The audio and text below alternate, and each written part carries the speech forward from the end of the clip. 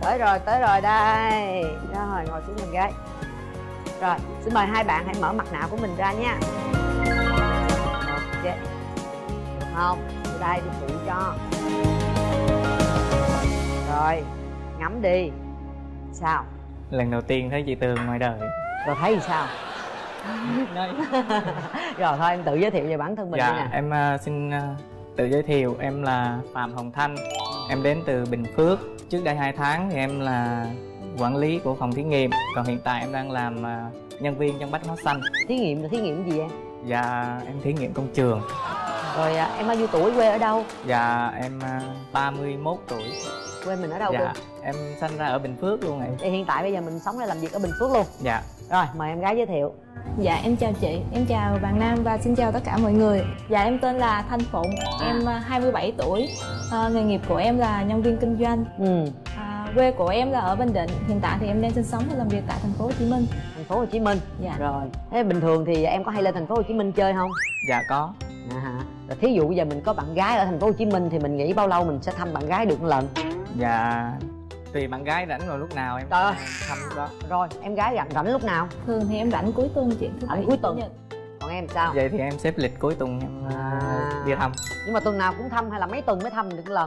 Dạ tuần nào cũng thăm. Chắc không à. Cái này không có hứa mà không làm được đâu bây giờ nha. xăng rẻ mà đi lại bình thường. À bây giờ sang khỏe đi lại bình thường ok. Rồi điểm mạnh điểm yếu của em là gì? Dạ điểm mạnh của em thì em biết à, nấu ăn, à, biết chia sẻ hòa đồng.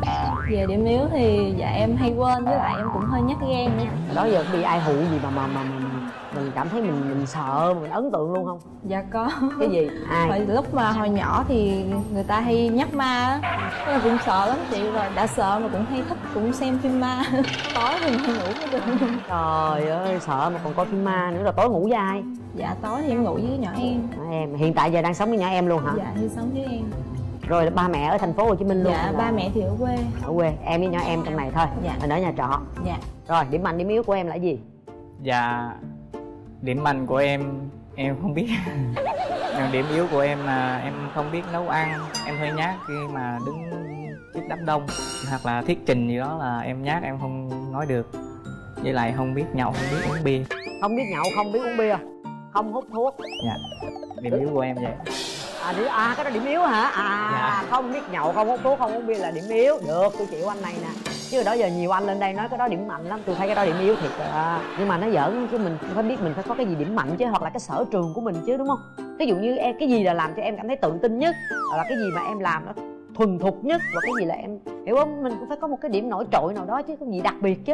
Dạ trước giờ em à, chỉ chú tâm vào công việc đi làm cho nên là em cũng không để em cũng không phát hiện là em có điểm mạnh gì nữa. Chắc để bạn nữ khám phá. Trời ơi, không biết khám tới chừng nào mới được phá nữa. Rồi thôi bây giờ vậy nói về à, tình trường đi. Tình trường thì em như thế nào? À, dạ tình trường thì em cũng chưa có mối tình nào chính thức hết. Chưa có mối tình nào hết? Dạ chưa. Cũng có những người đeo đuổi mình hay là mình có để ý ai mình có lỡ à, say nắng ai chưa? Dạ cũng có có say nắng một người rồi cũng có một vài người theo đuổi mà kiểu giống như là à, duyên chưa tới. Cho nên mình cũng không có rung động trước người ta cho nên là ngân không có cho người ta cơ hội tìm hiểu. Ờ, nhưng mà nó có ta tìm hiểu qua lại một cái mức độ nó ví dụ như có có một nụ hôn nào chưa? Chưa. Nắm tay cũng chưa. Nắm tay cũng chưa nữa. Trời ơi vậy là chỉ mới để ý kiểu như là xã giao thôi là đã thấy không tới được rồi đúng không? Dạ. Cái này là điểm yếu. Chưa có kinh nghiệm sống trong tình yêu. Dạ thành cho nên uổng em- phí nửa cuộc đời. Bây giờ phải cố gắng lên nha bữa nay cố gắng nha. Dạ. Rồi thế còn em thì sao? Dạ. Tình trường của em thì ờ, em có hai mối tình. Và mối tình ờ, sau cùng thì em chia tay ờ, đêm Noel ờ, năm 2010 ờ, 2016 đêm noel 2016 tới nay là cũng gần 4 năm trời rồi. Dạ. Tại sao chia tay ngay đêm noel ấn tượng vậy? Dạ tại có lẽ là do em làm nhiều quá không có thời gian để ý đến bạn gái. Là cái đêm noel đó không có đưa bạn gái đi chơi hay sao? Dạ đêm đó em bận việc làm rồi bạn gái nói chia tay ngay trong đêm noel luôn. Dạ tức là em gọi không bắt máy xong cái mấy ngày sau thì chia tay. Thì tại vì em không đưa người ta đi chơi đêm noel. Thì đêm noel đó người khác đưa bạn gái em đi chơi rồi. Dạ. Đúng không? Chắc là vậy rồi chứ gì Dạ. nữa. Rồi ta đang đi chơi người khác em gọi vô sao ta nghe máy được? Thì sau đó là chia tay luôn. Phải dạ. không? Dạ. Đúng luôn hả? Tôi nói cho em mà đúng thiệt luôn hả? Dạ dạ. Tại vì phụ nữ mà em nghĩ là do em ừ, do em. Nếu mà sắp tới em có người yêu thì em sẽ dành nhiều thời gian. Đúng rồi. Nhưng mà tại sao 4 năm vừa qua em chưa tìm được một mối tình nào khác? Dạ em muốn tranh thủ cái thời gian mà em uh, chưa bị vướng bận vì tình À. cảm để em uh, kiếm thêm uh, chút xíu gì đó. Thế Dạ. hôm nay là tại sao hôm nay là đến với chương trình? Dạ em sợ ế. Dạ em sợ ế. Có nghĩa là công việc 4 năm nay rồi phải không? Bây giờ tạm gọi là ổn định chưa dạ tạm tạm. Tạm tạm. Bây giờ thí dụ mà tiến tới hôn nhân là vừa có thời gian cũng có thể có được một xíu gì đó kinh tế để mà lo cho cái mái ấm gia đình đúng chưa? Dạ. Rồi em mong muốn tìm một người bạn trai như thế nào? Dạ em mong muốn tìm một à, bạn trai thì bạn ấy có tính cầu tiến trong công việc ừ. à, là người chững chạc là người có trách nhiệm biết tôn trọng biết quan tâm người khác. Ừ. Em có những yêu cầu gì về người bạn trai của mình không ngoại hình về tính cách. Dạ về ngoại hình thì em hy vọng là bạn ấy cao hơn em dễ nhìn là được được chỉ cần như vậy thôi. Cũng đơn giản. Thế còn em mẫu người bạn gái của em là như thế nào? Dạ em nghĩ là biết uh, cư xử trong gia đình trên dưới là được. Còn nghề nghiệp em không quan trọng. Về ngoại hình. Ờ, sinh thì càng tốt mà nếu Đó. mà không sinh thì chịu luôn. Ừ. sinh càng có không sinh chịu luôn em có thể nói nhỏ bật mí một cái điều em thích nhất ở người phụ nữ là gì? Cái người mà em muốn lấy làm vợ thì cái người đó em thích nhất điều gì? Em thích nhất là một người phụ nữ ờ, hơi hiền một chút. Dạ. Ở trong ở trong nhà thì có thể mình hiền chút nhưng ra ngoài đừng có hiền quá. Tại em hiền rồi phụ nữ hiền nữa em sợ bị người ta bắt nạt. À chàng một lời hỏi thì cũng khó nha. Thôi giờ để chị coi coi hình. Hình để em dự, dự đoán thử coi nha. Chà rồi coi thử coi. Trong đây có cổ đó tìm cổ đi. Được thì tôi gả luôn trời ơi hình gì mà khó coi khó kiếm vậy? Rồi kiếm đi có ảnh nó trọng á. Em à, cảm nghĩ cổ là ai? Em nghĩ chắc là đây. Đây hả? Dạ. Lý do tại sao là đây? Tại em thấy đây giống đây. À đây giống đây. Ủa giống không ta? Hên xui. Chắc rồi phải không? Dạ. Mã này đúng ý em không? Dạ quá tuyệt vời. Quá tuyệt vời. Dạ. Rồi để chờ đó đi coi phải không? Dạ em chắc em nghĩ anh này. Tại sao em nghĩ anh đó? Mà em nhìn thấy giống. À à hay. Rồi bây giờ xin mời hai bạn hãy nhìn về phía cánh cửa trái tim này. Cánh cửa trái tim sẽ được mở ra để chúng ta xem. À cái người đối diện với chúng ta ngày hôm nay là ai nha quý vị nha? Mở cửa trái tim đó. Chào em dạ em chào anh. Em tên gì quên mất tiêu. Tên khụng mà sao? Là trúng không? Coi lại đi. Cầm kỹ lại coi. Chắc trượt rồi. Chắc trượt rồi phải không? Trượt rồi là bị phạt đó nha. Ờ, hôm nay anh ờ, đi vội quá anh cũng không có gì nhiều. Anh có một món quà nhỏ tặng em. Dạ em cảm ơn anh. Gói hoa ấn tượng quá ha. À đây là món quà tự tay anh làm lát nữa bấm nút rồi anh sẽ mở cho em. Để bấm nút mới được mở hả? Chứ giờ chưa bây à? giờ từ từ. À từ từ. Dạ. Dạ em cũng có một món quà gửi tặng anh. À, cái món quà này thì nó cũng có thông điệp là hy vọng anh cũng mạnh mẽ cố gắng vươn lên trong cuộc sống giống như là cây sen đá này. Ờ, anh cảm ơn em. Ủa cái đó là cây xương đá đó hả em? Dạ cây Cây ờ, sen đá. sen đá. Sen đá. Khi cánh cửa trái tim này mở ra cảm xúc đầu tiên của hai bạn là gì? Dạ em cảm thấy ờ, vượt qua mong đợi của em. Vượt qua mong đợi của Dạ. em. Thế còn em? À, em thấy em đoán trúng.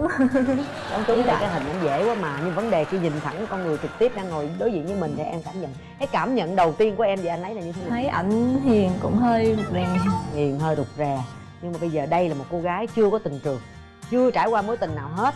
Mà em thì lại hiền rồi rụt rè nữa. Vậy thì trong cái câu chuyện tình yêu này nếu bắt đầu thì ai sẽ là người chủ động? Dạ em sẽ cố gắng nhiều hơn nữa. Tại hai mối tình của em là bên đàn gái họ tấn công không à? Họ Đó. xách máy cưa họ cưa em nhưng em không có cưa họ. Đó đợt này em phải có cái cưa nha. Rồi bây giờ để cho em có cơ hội để em có thể thể hiện bản lĩnh đàn ông của mình. Phải lãng mạn phải quyết đoán. Thì cho em một chút xíu thời gian để hai bạn tâm sự riêng với nhau được không? Dạ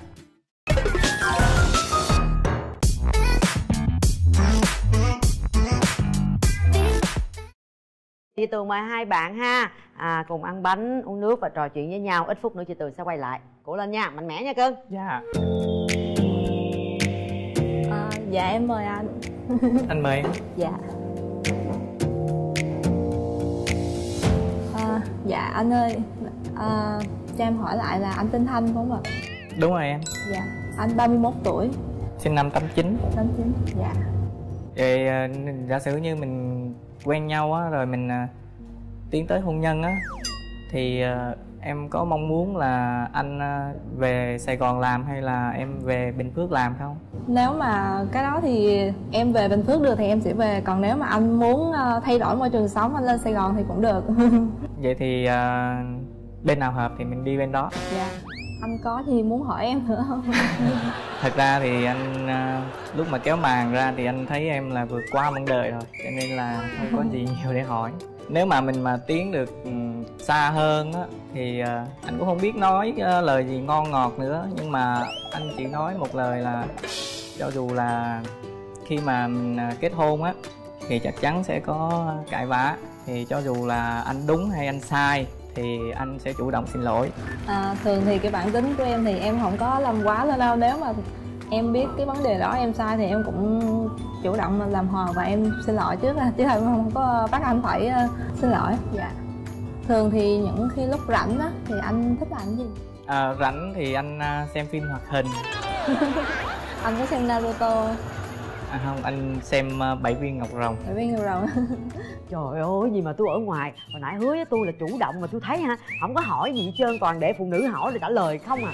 Rồi người ta còn có hỏi là anh có muốn hỏi gì em không? Rồi nãy giờ có họ có nói gì mà về tỏ tình lời nào chưa? Hình như chưa ha em quên.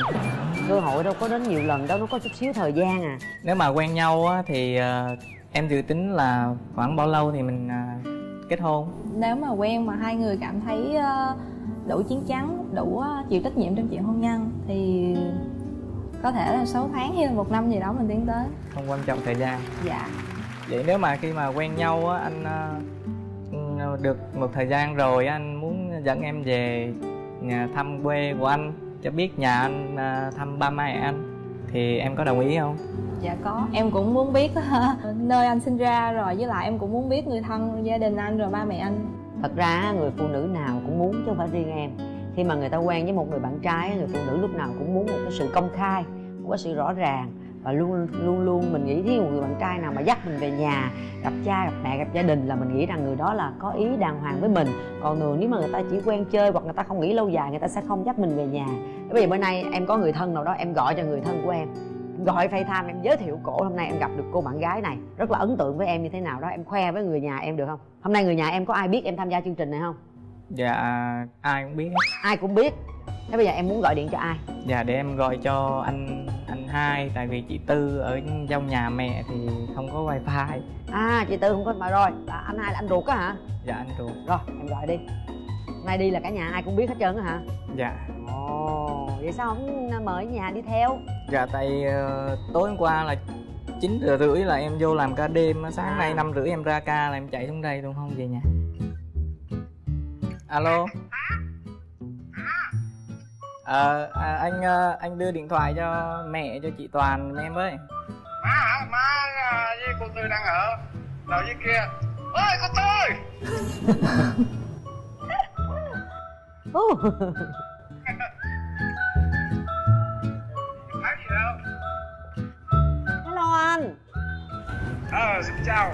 Biết ai không? Là xin chào. Biết ai không? Thì xin chào. Biết đất là bồ con thằng trời ơi trời ơi. Lộn rồi lộn rồi. Đây là chị bồ con thằng người nổi tiếng. Rồi đi đâu mà kêu ai kêu lâu dữ vậy? Đây đây nè. Alo ai vô? Xin chào. Biết ai sau em không dạ chào chị. Hôm nay là chị biết à, em trai chị tham gia chương trình à, hẹn hò không?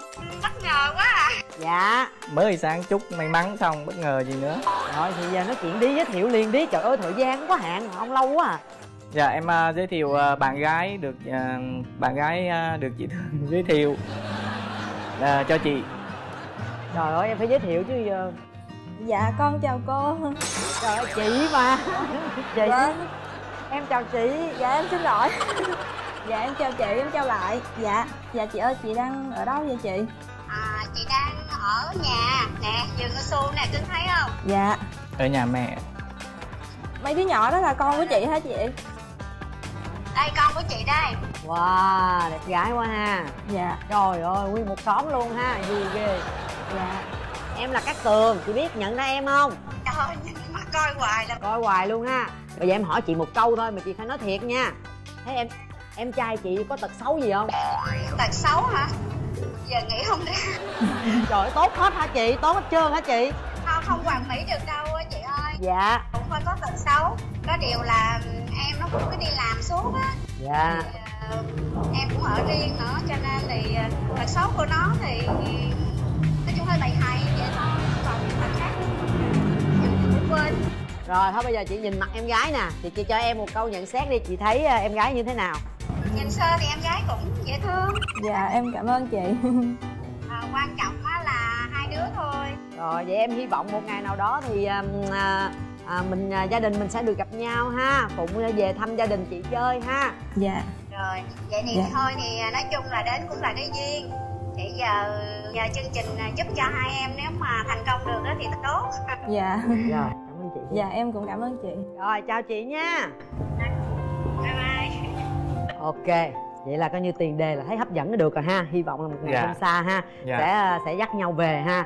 Rồi bây giờ á hôm nay á, là cũng có chị gái của ờ, của phụng đi theo nữa. Bây giờ mình à, giao lưu với gia đình mình rồi. Bây giờ mình sẽ giao lưu với chị của chị gái được không? Dạ được rồi ạ. mời chị vô ạ. Chào bạn Rồi. Nãy giờ mình ở ngoài mình mình lắng nghe câu chuyện của hai bạn thì mình cảm thấy như thế nào? Dạ nãy giờ thì em cũng quan sát thì em thấy bạn nam bên này cũng hiền. Nhưng mà con cái là cũng hơi nhút nhát Tại vì bé Phụng là bé này là rất là tốt bụng Nhưng mà nó có một cái là nó cũng nhát. Ừ. Với lại cái tiếp người không có người yêu tới thời điểm bây giờ là tại vì bạn này sống theo cái kiểu hơi truyền thống. Có nhiều người giới thiệu cô cũng có nhiều người tỏ tình mà bạn muốn quan muốn có một cái mối quan hệ để tiến xa hơn Thành bạn không có mở lên lòng ra. Thì hôm nay bạn đến đây bạn mở lòng thì em thấy hai bạn cũng được thì cái quyền quyết định còn lại là ở phụng. Thì em cũng mong muốn có một người rước bạn đi trước cái tuổi 30 đó giờ mình nói gì với chị câu cho chị yên tâm đi thấy không? Chị cũng thấy em nhát nữa. Thì hôm nay em ờ, đến đây á, thì em cũng ờ, mong muốn là ờ, kiếm được một người hợp ý với mình. Thì sau khi mà em thấy em phùng á, thì vượt qua mong đợi của em rồi thì em cũng ờ, cảm ơn chương trình cảm ơn ờ, chị đã cho em cơ hội được gặp phùng nếu mà em với phùng có duyên á thì em sẽ ờ, dẫn phụng đi đi cùng với em hết con đường này. Cái điều quan trọng là em có chắc chắn mình sẽ bảo vệ được cho bạn không? Tại vì bạn này thực ra tính của bạn rất là hiền. Em á, thì em hiền là em hiền đối với những người mà người ta hiền với em thôi chứ cũng không phải là nếu mà đụng vào người thân của em thì cũng chưa chắc là em hiền em à, chắc chắn như vậy. Thì quyền quyết định còn lại là ở em. Rồi cảm ơn chị. Hy vọng cảm là cặp đôi hôm nay sẽ ờ, sẽ thành thành thành đôi và chắc chắn là bạn này sẽ làm được những cái gì bạn đó hứa. Chúng ta chờ đợi kết quả nha. Rồi cảm ơn chị. Cảm ơn chị. Bây giờ tường ờ, tìm hiểu nhau cũng nhiều rồi ha. Gia đình hai bên gặp rồi ha. Bây giờ mỗi người bóc một lá bài chơi nè. Coi trong cái này là một cái game cho vui thôi để xem trong lá bài này yêu cầu những cái gì thì mình thực hiện theo. Mỗi người một lá đọc lớn lên rồi em trai đọc lên trước coi nè bạn nam hãy thuyết phục bạn gái để được. Được gì? Cái gì là đọc lâu vậy? Bạn nam hãy thuyết phục bạn gái để được hôn vào ba điểm bất kỳ trên cơ thể. Rồi đây đây bạn này đọc coi cái gì? Bạn nữ hãy kể ra năm tật xấu của mình. Đó. Rồi thực hiện đi qua bệnh. Mình đừng nghĩ đen tối quá em mình nghĩ cái gì nó trong sáng lên. Toát mồ hôi. Toát mồ hôi cái gì?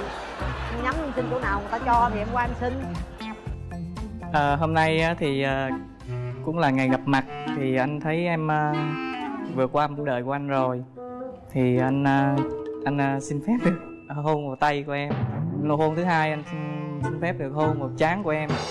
Và nụ hôn thứ ba thì cho anh hôn vào bàn tay còn lại của em. Không phải là chỉ là hôn mình ừ, là xong rồi thôi mà anh muốn à, chứng minh cái à, cái cái lời nói của mình là anh sẽ cố gắng để à, mạnh mẽ hơn nữa để bảo vệ em quãng đường còn lại.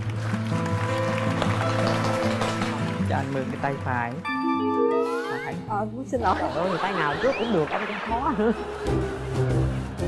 cái thứ hai là anh xin hôn trán theo thứ tự xin rất tình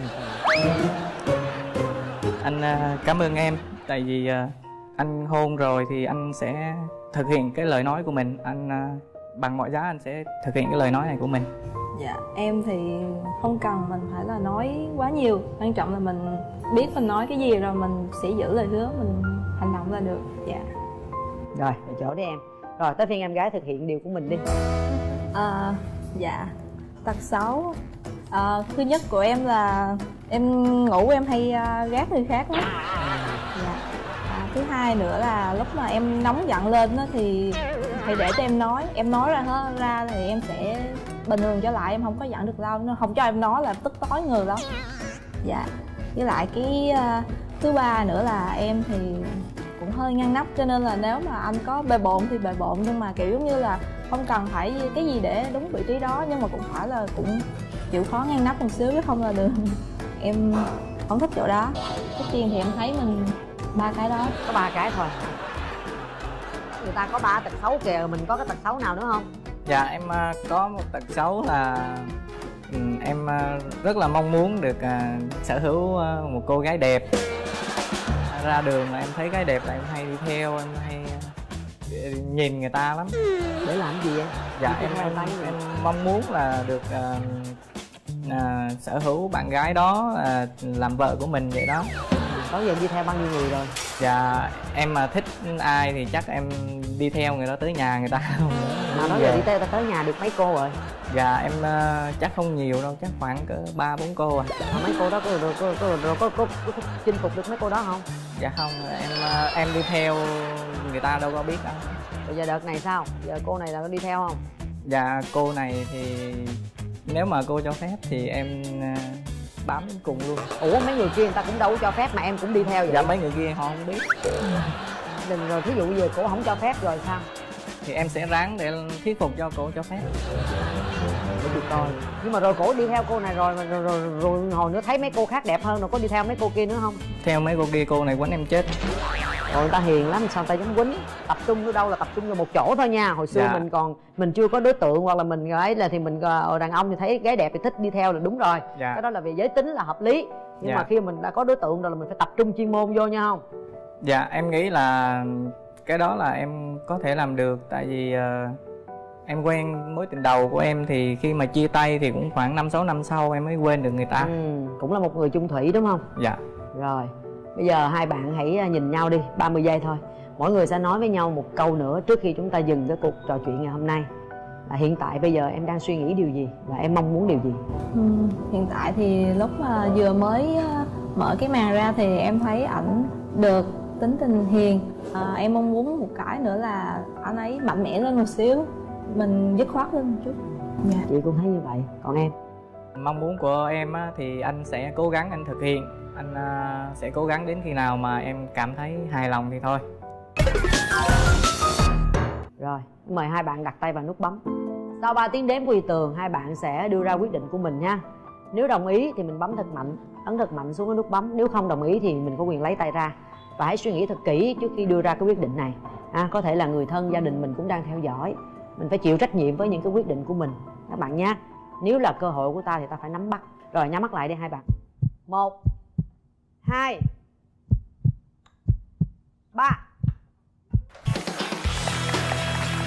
Rồi, hai cái đèn đã sáng lên rồi thì còn một việc nữa chúng ta cần phải làm đó chính là khui quà của em đúng không? Bây giờ được khui quà Dạ, phải không? dạ. Em gái khui cái quà đó ra xem là cái gì. Tôi hồi hộp quá. à. Tại tôi sợ nếu mà không ờ, bấm nút chắc quà được trả lại hay em. Không bấm nút là dạ dạ không à à, là vẫn mở đúng không? dạ vẫn mở Dạ. Cái gì vậy? cái này là cái này là cục bê tông anh tự đúc anh à, à, nó nó mang theo ý nghĩa là khi mà anh đã thương một ai đó Mở rồi ra là em. anh sẽ giống như là cục, cục bê tông đó sẽ không có cái cái gì khác có thể là xâm nhập vào trái tim anh được nữa Ồ. Bê tông á hả? Ồ. Ờ, cái- cho anh à, xin phép được à, mở món quà đó Ờ, qua đây qua đây để- qua đây qua đây trời ơi bê tông đúc chặt quá ha À, cục bê tông này với cộng dây chuyền này là anh cũng chuẩn bị cho em à, cách đây là chắc hơn một năm rồi đó. Ở cái mặt dây chuyền này là anh có có nhờ người ta khắc tên của anh với lại số điện thoại của anh. trời ơi, có được số điện thoại nữa hả Nếu mà giả sử bị rớt điện thoại vô nước hay này kia á, mà không nhớ số điện thoại của anh á, thì em cứ đeo cái này người ta này. điện thoại như nước. Vậy ông. Em giả sử thôi à. giả sử kỳ. Vậy là đúc cái cục bê tông thôi phải không? Chứ còn cái dây chuyền là mua phải không? Dạ, tưởng đâu làm luôn sợi, sợi dây chuyền chứ. Dây chuyền này em đặt à. có số điện thoại nó hay quá ha. Giống như đi tìm kẻ lạc vậy đó không sợ bị lạc. Ai làm ơn gọi giùm tôi số này á kiểu dạng vậy đó. Em cảm nhận món quà là như thế nào dạ em thấy ảnh chuẩn bị chu đáo với lại là nó cũng có ý nghĩa kiểu giống như là trong cổ mình lúc nào cũng có ảnh á à, món quà này thì cái có ý đồ quá rồi mời hai bạn qua đây bấm nút rồi thì chúng ta về chung một nhà nè rồi nắm tay nhau đi hai bạn đây. Ờ, bên chương trình ạ Rồi, bây giờ thì anh ờ, giới thiệu một số những cái thông tin cơ bản về bản thân của mình bao gồm họ và tên, ngày tháng năm sinh, tên tuổi, quê quán, nghiệp À. hiện tại của mình đang ở đâu nha. Vâng anh chủ động nói chuyện. Vâng họ tên là lại thanh trí sinh năm 1974 quê quán Thủy, Thủy, Xuân Tiên Trương Mỹ thành phố Hà Nội Trường Mỹ Hà Nội. Rồi, công việc của anh, là công việc là bên kinh doanh anh ơi anh kinh doanh về gì ạ? Vì em bên mảng uh, ắc quy ô tô xe điện các loại ắc quy bình bình điện ạ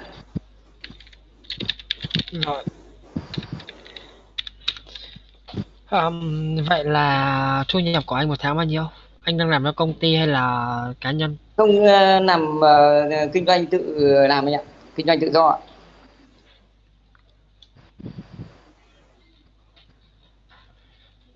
Kinh doanh tự do. vâng Rồi, anh ờ, Chí là một người như thế nào, có điểm mạnh điểm yếu ra sao? À, cũng ờ, xin giới thiệu là điểm mạnh của tôi là có tính rất là mạnh mẽ và ờ, có tính tiến thủ cương quyết Điểm yếu? Anh chủ động nói đi anh. điểm yếu là cũng ờ, có hơi chút hơi nóng tính như sống rất thẳng thắn mà hòa đồng cũng không có vấn đề cả Rồi, thẳng thắn hòa đồng. Ờm, anh có mấy cuộc hôn nhân rồi? Ờ, cũng mới có một cuộc thôi anh ạ một cuộc hôn nhân ờ, nhưng mà chia ờ, tay là năm nay là năm ờ, tám năm rồi anh ạ Hai anh chị sống với nhau được bao nhiêu năm? Ờ, sống được uh, 10 ờ, chung sống được trong 10 uh, 12 năm ạ. Rồi, sống với nhau được 12 năm. Ờm, cháu có mấy cháu? Ờ, có ba cháu anh ạ. Hai gái một trai. Hai gái, một trai. Anh đang ở với lại mấy cháu? Đang ở ba cháu ờ, ở bố tất ạ. Rồi các cháu là tuổi tuổi như thế nào? Cháu cháu- nhất Ờ, Các cháu tuổi ờ, đầu ờ, cháu đầu sinh năm 2003 đang- đang học mà cháu thứ hai cũng bắt đầu cũng đang học nói chung ba đứa con đều đi học tất ạ. Rồi cháu đầu là 2003, cháu thứ hai là bao nhiêu? 2005 ạ. Cháu thứ ba. Cháu thứ ba 2013. Một mình anh nuôi ba cháu thì vất vả không anh? Nói chung là cũng là vất vả nhưng mà cũng vất vả mất mấy năm nói chung đến giờ này là cũng ổn ổn rồi thì mình ép cho mình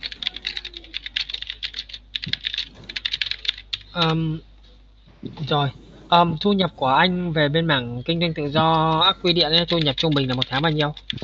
nói chung là cứ ờ, bình quân nó tháng chỉ được 10, 10 triệu thôi chứ không được nhiều nó cũng tùy theo anh ơi có lúc thì có tháng thì có khi ờ, kiếm được mấy triệu có những có tháng nó lại nó phụ thuộc vào cũng nhiều yếu tố lắm.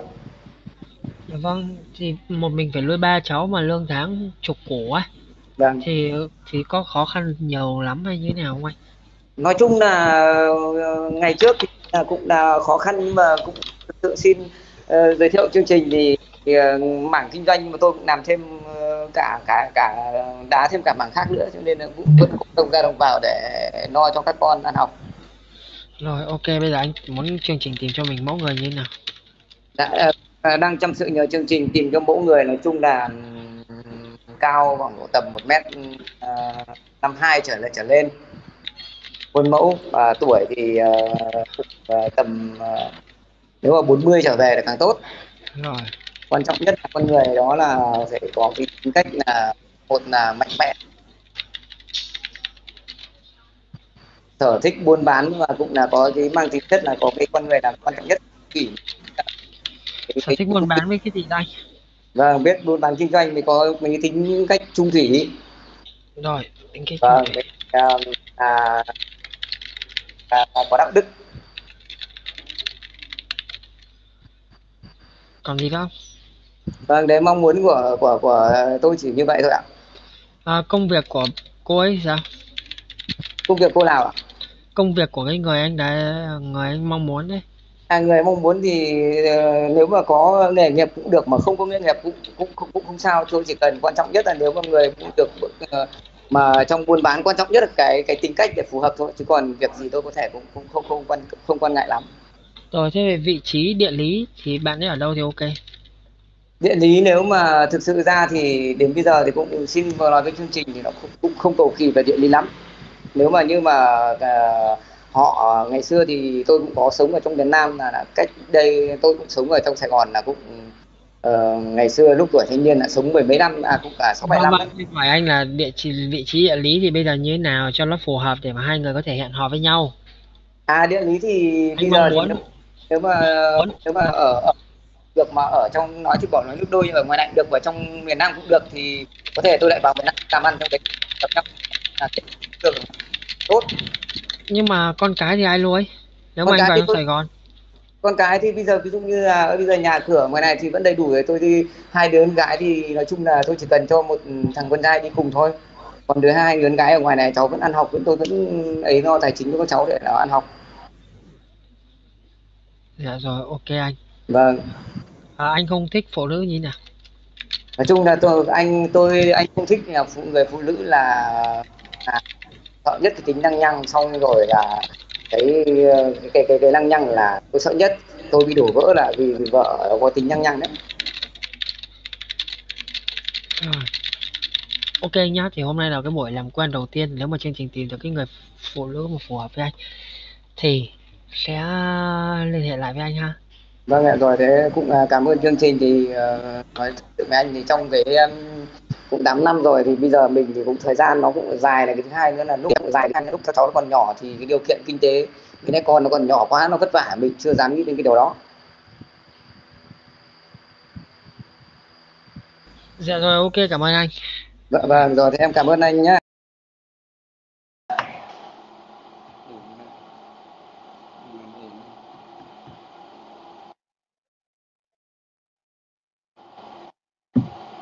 Dạ alo em chào anh nhá. Thì ờ, anh ờ, giới thiệu một số những cái điểm mạnh à một số những cái thông tin cá nhân về bản thân của mình như họ tên ngày tháng năm sinh, tên tuổi quê quán. Dạ để cho anh em mình biết về nhau cái đã. ạ.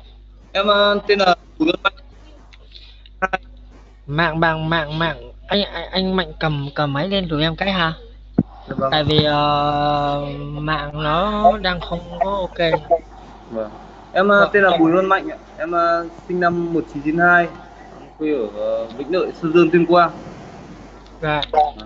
Em nghề nghiệp của em là em ờ, bán lấy trúc. Rồi. Ờm, vậy thì bây giờ anh mong muốn chương trình tìm cho mình người bạn gái như thế nào? Dạ, nói chung là cũng một người nói chung là dịu dàng một chút về vấn đề đối nội đối ngoại gọi là tạm ổn. Ừm. Không, nói chung em không cầu kỳ lắm chỉ cần ờ, nói chung là hiền dịu dàng ờ, nói chung cao thì chiều cao thì khoảng một mét năm năm đổ lên Dạ rồi. vâng gọn gàng sạch sẽ thế là được không, không có gì cầu kỳ đâu anh ạ Dạ rồi, ok anh. Ờ, nếu mà chương trình ghi hình ở trong thành phố Hồ Chí Minh thì anh bay vào được không ạ? dạ có được ạ em Dạ. sẵn sàng rồi sắp xếp thời gian để vào Dạ ok, em cảm ơn anh nhất. Hôm nay là cái buổi đầu tiên ờ, giao lưu để làm quen với anh, ít thông tin ban đầu của anh. Nếu mà chương trình tìm được người phù hợp thì sẽ liên hệ với anh nhé. dạ vâng ạ Dạ, chào anh. dạ vâng vâng chào anh em cảm ơn anh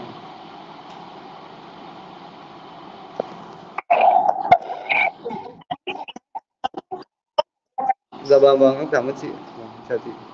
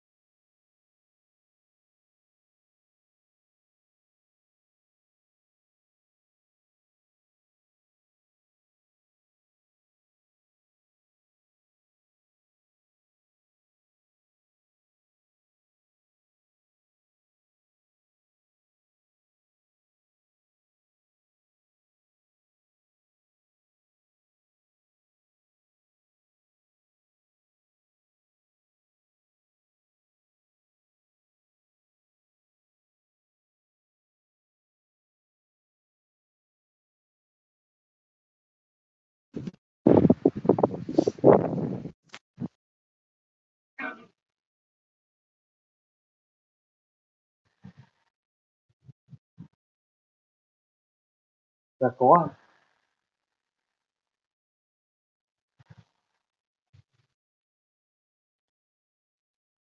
dạ. Rồi chào anh, mình giới thiệu về bản thân mình, họ và tên tuổi quê quán nghề nghiệp giúp biên tập ha. Ừm, em là Đào Huy Cường. Năm 1989 quê ở Yên Nam Định. Ừ, hiện tại là mình đang ờ, đang ở Nam Định luôn à. Dạ đúng rồi là Nam Định Ừ. Rồi mình làm công việc gì, như thế nào? Ừm, em làm công nhân bên uh, sản xuất À. xi măng À, bên đấy nghe rõ không chị? Đào Huy Cường sinh năm 89 làm sản xuất xi măng đúng không? Dạ.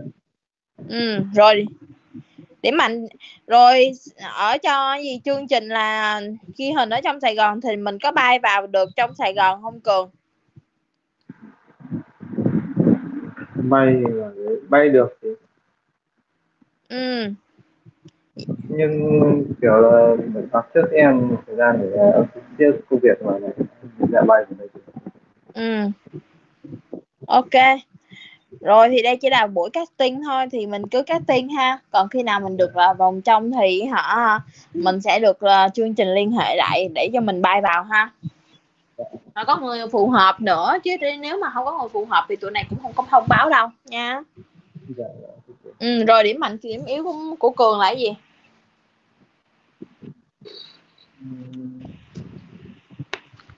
Chắc là điểm mạnh của yếu ơi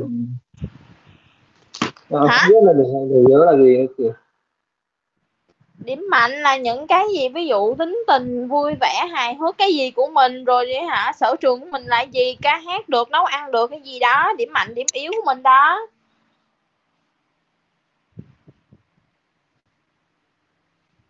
Chắc ừm, nếu điểm, điểm mạnh em chắc là chỉ có thể là gì? ít nói ừ. Chủ yếu là cũng là điểm mạnh đó là kiểu hơi ít nói nhiều.